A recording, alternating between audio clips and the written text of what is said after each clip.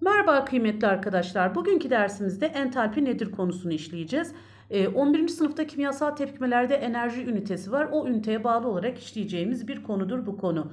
Ee, entalpi nedir? Bütün maddelerin yapısında depoladığı bir enerji vardır. Bir maddenin taneciklerinin yaptığı dönme, titreşim, öteleme hareketlerinden kaynaklı kinetik enerjisi ile moleküllerin ve atomların birbirleriyle yaptığı etkileşimlerden kaynaklı, itmelerden, çekmelerden, bağlardan kaynaklı potansiyel enerjisinin toplamına o maddenin ısı kapsamı, potansiyel enerjisi, entalpisi, tepkime ısısı gibi kavramlar ifade edilmektedir. Gibi kavramlarla ifade edilmektedir. Demek ki bir maddenin içerisinde bulunan kinetik enerjisi ile potansiyel enerjisinin toplamı o maddenin ısı kapsamı, potansiyel enerjisi, entalpisi, tepkime ısısı gibi kavramlarla ifade ediliyor ve H işaretiyle ne yapılmakta gösterilmektedir kıymetli gençler. Entalpiyi ise delta H ile göstermekteyiz. Ee, peki nedir? Sabit basınç altında gerçekleşen bir tepkimede alınan veya verilen ısı miktarına bir tepkime sırasında alınan ya da verilen ısı miktarına biz entalpi demekteyiz ve delta H ile göstermekteyiz. Peki bir tepkime sırasında alınan ya da verilen ısı yani entalpinin birimi nedir? Kilojül ya da kilojül bölü mol olarak ne yapmaktayız? İfade etmekteyiz. Entalpi bir hal fonksiyonu olduğu için doğrudan ölçülemez. Hal fonksiyonu ne demek olduğunu biraz sonra göreceğiz. Entalpi bir hal fonksiyonu olduğu için doğrudan ölçülemez. Ancak sistemin ilk entalpisi ile son entalpisi yani alınan ve verilen ısı ölçülebilir. Aradaki farklı ölçtüğümüz için, aradaki farkı ölçtüğümüz için de delta işareti koyuyoruz. Yani fark anlamına gelen delta işaretini ne yapıyoruz? Başına koyuyoruz kıymetli gençler. Delta H ile göstermekteyiz. Yani maddenin birinci durumdaki enerjisi ile maddenin ikinci durumdaki enerjisi arasındaki fark entalpiyi veriyor. Onu da delta H ile yani enerji farkı olarak ifade etmekteyiz. Kimyasal tepkimelerde oluşan ürünlerin entalpisi ile girenlerin entalpisi mutlaka birbirinden farklıdır. Aradaki fark bize tepkimenin ısısını, tepkimenin entalpisini vermektedir kıymetli gençler. Yani girenlerin enerjisiyle ürünlerin enerjisi arasındaki fark bize tepkimemizin entalpisini vermektedir. O zaman tepkime entalpisi yani enerji farkı ya da delta H eşittir. Ürünlerin toplam entalpisinden girenlerin toplam entalpisini ne yapıyoruz kıymetli gençler? Çıkarıyoruz. Tekrar yazalım formülümüzü. Delta H yani tepkimenin entalpisi. Tepkimede alınan ısı ya da tepkimede verilen ısı eşittir ürünlerin toplam enerjisi şu toplam anlamına geliyor. Şu da enerji anlamına geliyor. Ürünlerin toplam enerjisi eksi giren maddelerin toplam enerjisi. Bu bizim formülümüz. Delta H eşittir. E, ürünlerin enerjisi eksi girenlerin enerjisi. Sabit basınç altında dışarıdan ısı alınan bir sistemin entalpisi giderek artar. Örneğin bakalım bir X maddesi bir Y maddesi ısı almışlar ve Z maddesini oluşturmuşlar. Burada biz ne görüyoruz? Z maddesinin enerjisinin ya da iç enerjisinin X ve Y maddelerinden daha fazla olduğunu görüyoruz. Çünkü X ve Y'nin Z'ye dönüşebilmesi için bünyesine ısı alması gerektiği, enerji alması gerektiğini görüyoruz. O zaman X ve Y'nin toplam enerjisi küçük fakat Z'nin toplam enerjisi daha büyük çünkü bunlar enerji alarak buna ne yapmışlar? Dönüşmüşler. Onda nasıl ifade ediyorum? Z'nin toplam enerjisi büyüktür. Y'nin enerjisiyle X'in enerjisinin toplamından şeklinde ifade ediyorum. Eğer ben bunu bir grafikle gösterecek olursam bakalım burası potansiyel enerjimizi gösteriyor. Yani delta H'ımızı ya da H'ımızı gösteriyor, enerjimizi gösteriyor. Burası ise tepkime koordinatını bize ifade ediyor. Zamanla nasıl bir değişiklik olacağını ifade ediyor. E, baktığımız zaman girenlerin enerjisi düşük. Girenler enerji aldılar delta H kadar. Ne yaptılar? Ürünlere dönüştüler. Ürünlerin enerjisi yüksek. Bu tepkime yani ürünlerin daha yüksek olduğu tepkimeler enerji alarak gerçekleşen tepkimelerdir. Girenler düşük enerjili, ürünler yüksek enerjili. Dolayısıyla girenlerin yüksek enerjili ürünlere dönüşebilmesi için bir miktar enerji alması gerekiyor. Bu alınan enerji de girenler tarafına ne yapılıyor? Yazılıyor. Ona da delta H adını veriyoruz. Yani tepkime sırasında alınan verilen ısı buradaki delta H'tır. Burada ısı alındığı için delta H alınan ısıdır.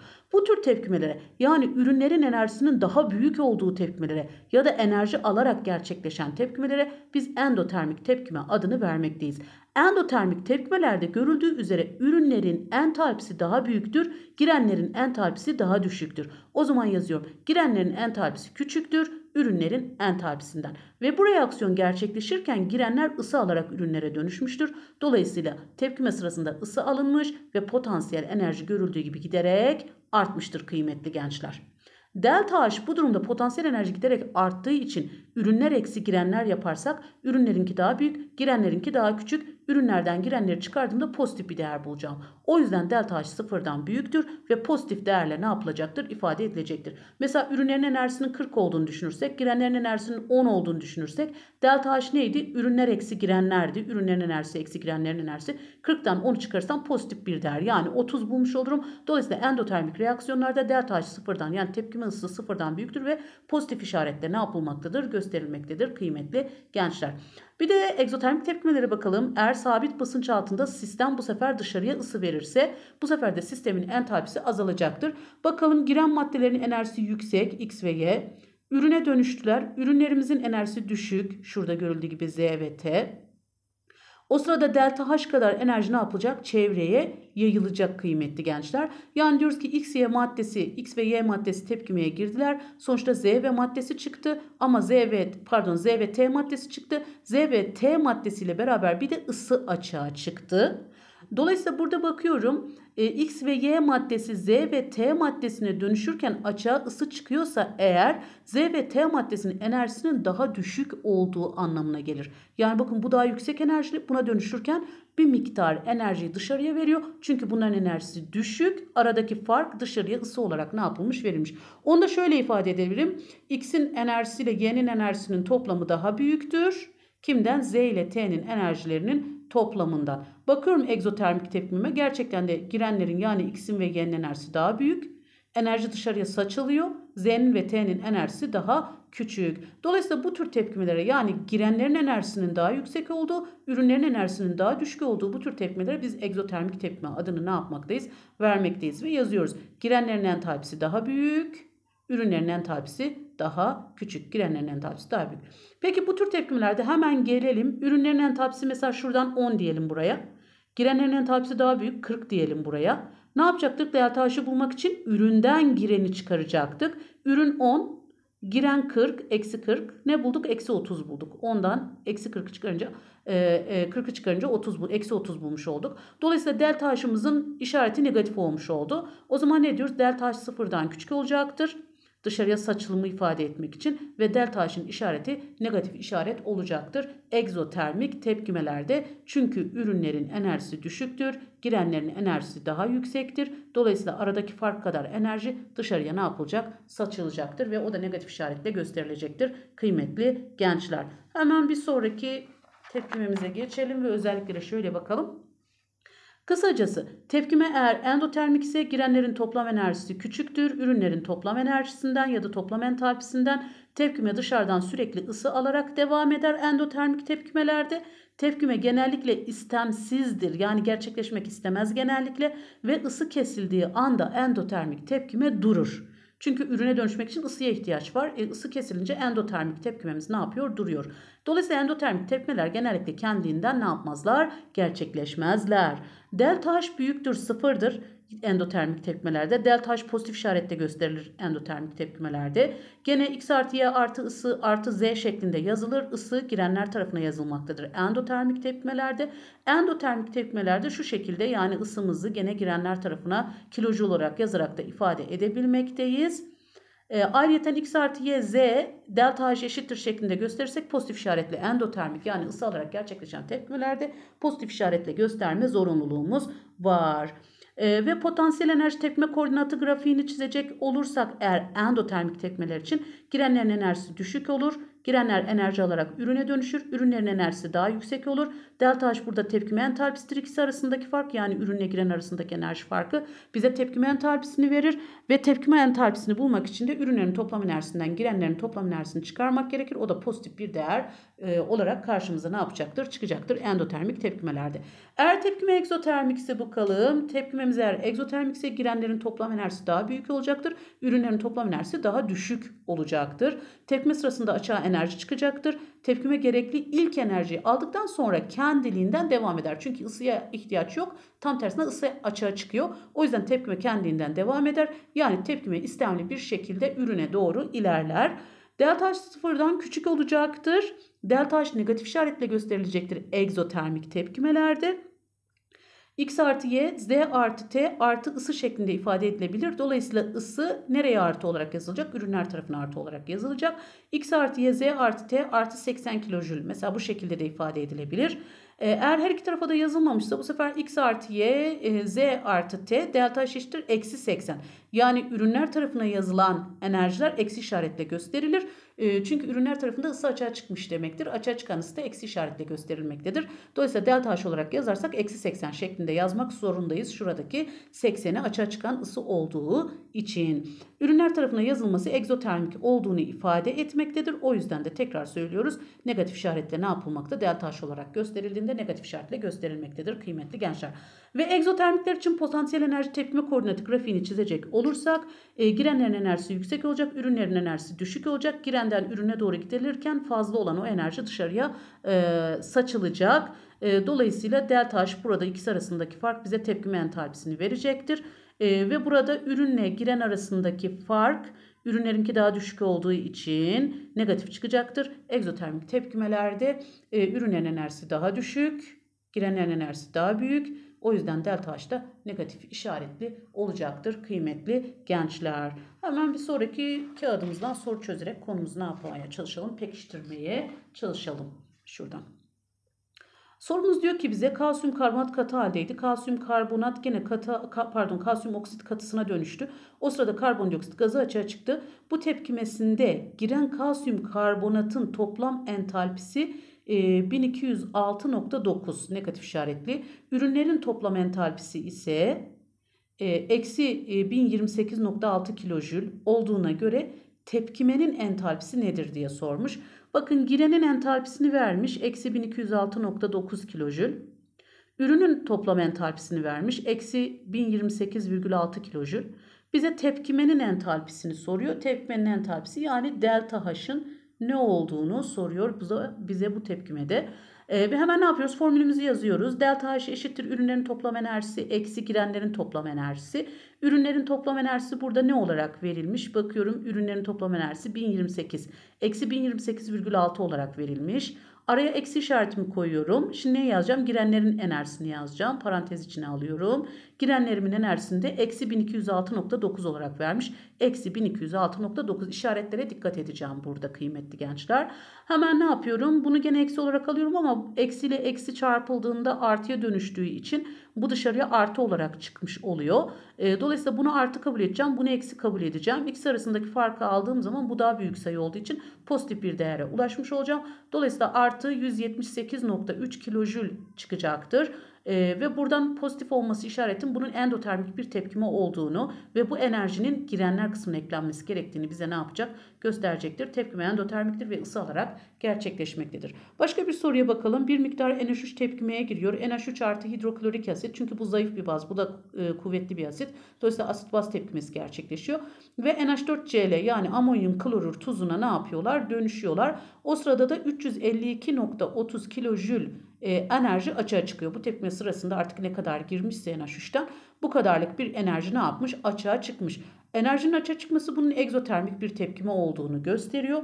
İlk başta size şunu söyleyeyim kıymetli gençler. Bakın enerji burada girenler tarafına yazılmamış. Ürünler tarafına yazılmış.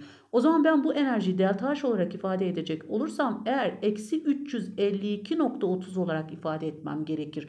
Çünkü ürünler tarafına yazılmış. Ürünler tarafına yazılan tepkime entalpileri negatif işaretle gösterilirler delta H olarak yazıldığında. Bunu unutmuyorum. Başının eksi olacağını ne yapmıyorum? Unutmuyorum kıymetli gençler. Ürünler kısmında olduğu ve tepkime egzotermik olduğu için.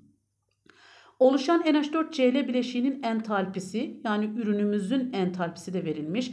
Eksi 628.8 kilojül olduğuna göre tepkimeye girenlerin entalpisi nedir? Tepkime entalpisini vermiş. Eksi 352.30 kilojül. Ondan sonra neyi vermiş başka? Ee, şuradaki ürünümüzün entalpisini de vermiş. Eksi 628.8. Girenlerin toplam entalpisini soruyor bize. Hemen formülümüzü yazıyorum. Diyorum ki tepkimenin toplam entalpisi eşittir. Ürünlerin toplam entalpisi eksi girenlerin toplam entalpisi. Formülümüz bu şekildeydi. Biraz önce söyledim egzotermik tepkime olduğu için delta H'ı negatif almak zorundayım. O yüzden yazıyorum eksi 352.30 eşittir ürünlerin entalpisi belli. Eksi 628.8 bakın burada vermiş. Eksi diyorum arada eksi işareti var. Kim? Girenlerin toplam entalpisi. Şimdi ne yapmam gerekiyor? Bu eşitliği çözmem gerekiyor. Hemen 628.8 burada eksidir. Bu tarafa artı geçer. Dolayısıyla 628.8'den e, 352.30'u çıkaracak olursam 276.5 bulurum. Fakat bunun işareti eksi görüldüğü gibi. Bunun işareti eksi olduğu için eksiyi karşı tarafa atarım. O zaman girenlerin entalpisini eksi 276.5 e, kilojül ne yapmış olurum? Bulmuş olurum. Tekrar söylüyorum. Burada en önemli şey e, egzotermik mi endotermik mi ona bakacağız. Egzotermik tepkime ise delta H'ı negatif alacağız bu. İkincisi de işlemleri yaparken işaretlere çok çok dikkat etmemiz gerekiyor. Doğru sonucu elde edebilmemiz için. Bir sorumuz daha var şurada. Bu sorumuzda diyor ki aşağıdaki olaylardan hangileri endotermik yani enerji isteyen olaylardır diye sormuş bize. Bağın kırılması, bağın oluşması, elektron koparılması yani iyonlaşma enerjisi, azotun yanması ve karbonun e, oksijenle yanma reaksiyonu. Şimdi hemen bakalım bir bağ mesela iyotla iyot arasında bir bağ düşünelim. Bu bağı kırmak için enerji gerekir. Dolayısıyla bu endotermik. Bağ oluşması mesela bir iyotla başka bir iyot atomu bir araya geldiler. Aralarında bağ oluşturdular ve I2'ye dönüştüler. O sırada dışarıya enerji saçılır. Bağ oluşması egzotermik. Hemen gelelim elektron koparılması demiş. Yani iyonlaşma enerjisi. Bir atomdan elektron koparmak için ona mutlaka enerji vermek gerekiyordu. Dolayısıyla bu endotermik. Azotun yanması bütün yanma olaylarında enerji açığa çıkıyordu egzotermiklerde ama azotun yanması istisnaydı. Azotun yanması endotermik. Karbonun yanması kömürdür. Kömürün yanması açığa enerji çıkaracak odamız ısınacaktır. Dolayısıyla bu egzotermik. Şimdi bakalım hangileri endotermik çıktı? Bağın kırılması olayı endotermik çıktı. İyonlaşma enerjisi endotermik, azotun yanması endotermik. Bir de bağ oluşumu ve karbonun yanması egzotermik çıktı. Burada 3 tane yani bağ kırılması, iyonlaşma enerjisi ve azotun yanması endotermik, bağ oluşumu ve karbon yanması egzotermik olay olarak e, ifade edildi. Hemen geçelim ikinci sorumuza. Aşağıdaki olaylardan hangilerinde ortam giderek ısınır diye sormuş. Şimdi ortam ısınır yani Ortam ne zaman ısınır? Biz odunu kömürü koyup yaktığımız zaman ortam ısınır. E, dolayısıyla ortamın ısınabilmesi için olayın egzotermik olması gerekiyor. E, bu soruda bize egzotermik sorulmuştur. Ortam ısınacağına göre o tepkime açığa enerji çıkaracak ve ortamı ısıtacak. Dolayısıyla egzotermik olan olay ne yapılmıştır? Sorulmuştur. Hemen bakıyorum burada ne olmuş? Azotun yanması. Yanma olayları egzotermik olaylardı ama azotun yanması istisnaydı ve endotermikti. Dolayısıyla bu endo termik. Hemen şuna geçelim. E, metanın yanması, azotun yanması dışındakiler neydi? Egzotermikti. Hemen yazıyorum. Egzotermik. Suyun donması. Suyun donması sırasında su ne yapıyor? E, sıvı halden katı hale geçiyor. Daha düzenli hale geçiyor. Daha düzenli hale geçişler sırasında çevreye ısı yayılıyordu. Dolayısıyla bu egzo. Egzotermik. Yağmurun yağması bir yoğuşma olayıydı. Gaz halden sıvı hale geçme söz konusuydu. Yoğuşma sırasında sıvıya yani daha düzenli hale geçiş söz konusuydu. Daha düzenli hallere geçişlerde e, ısı yayılırdı. Dolayısıyla bu da egzotermik. E, tereyağının erimesi, tereyağını dışarıya çıkardığımız zaman buzdolabından ısı alarak erir. Dolayısıyla bu endo termik. Gümüşün paslanması demiş. E, hemen bakın bir yanma olayıdır aslında. Gümüşün kararması, paslanması bir yanma olayıdır. Yanma olayları da azotun yanması dışında egzotermikti. Dolayısıyla bu da egzotermik. Değerlendirirsek ortamın ısınabilmesi için olayın egzotermik olması gerekiyor. Yani çevreye ısı veren olmalıdır. E, dolayısıyla hemencecik şuradan değerlendirecek olursak CH4 yani metanın yanması çevreye ısı verir. E, suyun e, sıvı halden katı hale geçip donması, donma olayı ısı verendir. E, yağmurun yağması yani suyun gaz halinden sıvı hale geçmesi ısı veren olaydır gene egzotermiktir. Bir de gümüşün oksijenle kararıp e, gümüş oksiti oluşturması yanma olayı olduğu için ısı veren egzotermik bir olaydır. Burada egzotermik olan olaylar metanın yanması, suyun donması, yağmurun yağması ve gümüşün paslanması olaylarıdır kıymetli gençler. Hemen bir sonraki sayfamızda birkaç sorumuz daha var. Onlara da bakalım. Ondan sonra bitirelim dersimizi. Aşağıdaki olaylardan hangilerinin egzotermik olması beklenir demiş. Hemen bakıyorum karbondioksit burada gaz halden sıvı hale geçmiş. Daha düzenli bir hale geçmiş. Daha düzenli hale geçişlerde ısı açığa çıkıyordu. Dolayısıyla bunun egzotermik olması ne yapar? Beklenir. NH3'e bakıyorum. NH3 ne yapmış burada kıymetli gençler? Görüldüğü gibi parçalanmış. Parçalama neydi? Analiz reaksiyonlarıydı. Ve parçalamak için bu bağları koparmak gerekiyordu. Bağları koparmak için de enerji gerekiyordu. Dolayısıyla bu endotermik bir olaydır. O yüzden bu egzotermik olmadığı için negatif koydum. Hemen bakalım burada bir yanma olayı var. CH4 gazımız ne yapıyor? Oksijenle yanıyor. E, azotun yanması olmadığına göre bu azot dışında bir maddenin yanması olduğuna göre ısı açığa çıkacaktır. Dolayısıyla bu nedir? Yine endotermik olaydır. O yüzden negatif e, pardon egzotermik olaydır. O yüzden pozitif koydum özür diliyorum gençler yanma olayı olduğu için e, enerji açığa çıkaracaktır. O yüzden de egzotermik bir olaydır. E, o yüzden ne yapıyorum? Pozitif koyuyorum hemen tekrar söyleyeyim. Azotun yanmasına gelince azotun yanması endotermik olaydır. Bunu daha önce söylemiştik. O yüzden negatif koyuyorum. E, hidrojenin parçalanmasına gelince iki tane hidrojen atomuna parçalanması için aradaki bağın kırılması gerekir. Bağ kırılma olayları bildiğiniz gibi endotermik yani ısı alarak gerçekleşen olaylardı. O yüzden buna da gene eksi koydum. Ee, burada bakalım flor gazdı. Flor iyonuna dönüştü. Bir elektron koptu. Elektron kopması her zaman endotermik olaydı. O yüzden buna da eksi koydum. Yani burada e, kısacası egzotermik olan olaylar e, birinci olayımız egzotermik, ikinci olayımız endotermik, üçüncü olayımız egzotermik, dördüncü olayımız endotermik, beşinci olayımız endotermiktir. Dolayısıyla ne diyoruz? Flordan elektron kopmuş iyonlaşma enerjisi endotermiktir. Burada cevap sadece 1 ve 3'tür. Egzotermik olanlar ee, diğer sorumuzu artık ne yapabiliriz? Geçebiliriz. Şöyle. Aşağıdaki olaylardan genellikle endotermik olanlara artı egzotermik olanlara eksi koyunuz. Her artı 5 e, her artı 5 puan demektir. Her eksi de 4 eksi 4 puan demektir. E, buna göre puanlar toplanınca kaç yapacaktır? Yani ne demek? Endotermik olanlara artı vereceğiz. Egzotermik olanlara da eksi vereceğiz. Artı olanlara 5'er puan, eksi olanlara 4'er puan vereceğiz. Böylece puanlar toplamı kaç yapacak diye değişik bir soru olmuş burada. Tamam hemen bakalım. Ee, birinci olarak e, erime olayına bakıyoruz. Erime olayında bir kere sıvı hale gidiş var. E, dolayısıyla e, daha düzensiz kattan sıvıya gidiş daha düzensiz hale gidiş olduğu için endotermik bir olaydır. Dolayısıyla artı 5 diyorum. Süblimleşme gene daha düzensiz bir hale gidiş var. Gene artı 5 diyorum. İyonlaşma enerjisine baktığım zaman her zaman endotermik iyonlaşma enerjisi. O yüzden gene artı 5 puan diyorum. Sentez olayına bakıyorum kıymetli gençler. Sentez olayı egzotermik olaydır. Çünkü sentez e, sırasında büyük moleküle gidiyorduk. Bağ oluşuyordu. O yüzden de genelde açığa enerji çıkıyordu. E, dolayısıyla bu egzotermiktir. Eksi 4 diyorum. E, hemen katıların suda çözülmesine bakalım. Genellikle iyi dediği için katıların suda çözülmesi sırasında genellikle endotermik olaydır. Isı alarak gerçekleşir. O yüzden buna artı 5 diyorum.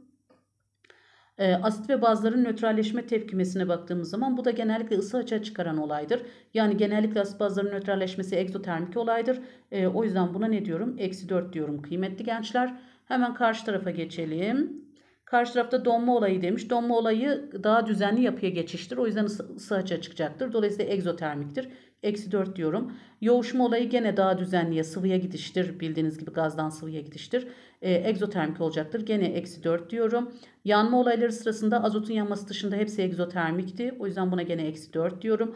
Analiz olayına baktığımız zaman analiz olayları endotermik olaylardı. E, çünkü analiz neydi? Parçalanmaydı. Bağın kırılması gerekiyordu. Bağı kırmak için de enerji gerekiyordu. E, dolayısıyla endotermik olay olacaktır. Artı 5 diyorum buna.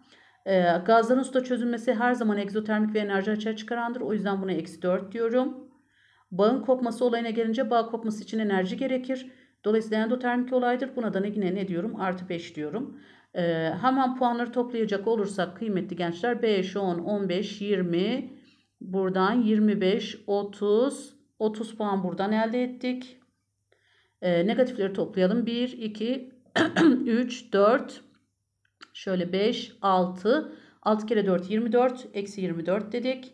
Dolayısıyla ikisini topladığımız zaman ne çıktı? Artı 6 puan çıkmış oldu sonucumuz bu sorumuzda. Evet bir dahaki dersimizde görüşmek üzere. Hoşçakalın kıymetli gençler.